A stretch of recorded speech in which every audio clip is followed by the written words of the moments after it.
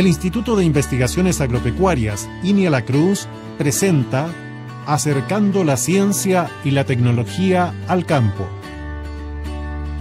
Pololos, pololitos o gusanos blancos en arándano. Los pololos o gusanos blancos pertenecen a la familia Scarabeidae, son especies nativas y existen sobre 20 especies asociadas al arándano. Los escarabeidos presentan una metamorfosis completa, es decir, presentan los estados de huevo, larva, pupa y adulto. El estado adulto o pololo se alimenta del follaje de las plantas y las larvas o gusanos blancos se alimentan de las raíces, cuello y corona a ras y bajo suelo, causando la muerte de plantas jóvenes.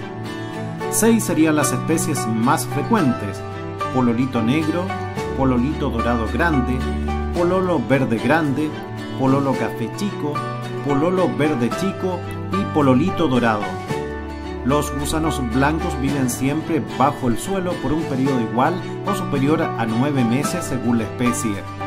La correcta identificación permite reconocer su ciclo, conocer su potencial de daño, implementar la mejor estrategia de manejo y aplicar el control biológico adecuado. INIA La Cruz presentó Acercando la ciencia y la tecnología al campo. INIA, liderando el desarrollo de la agricultura chilena.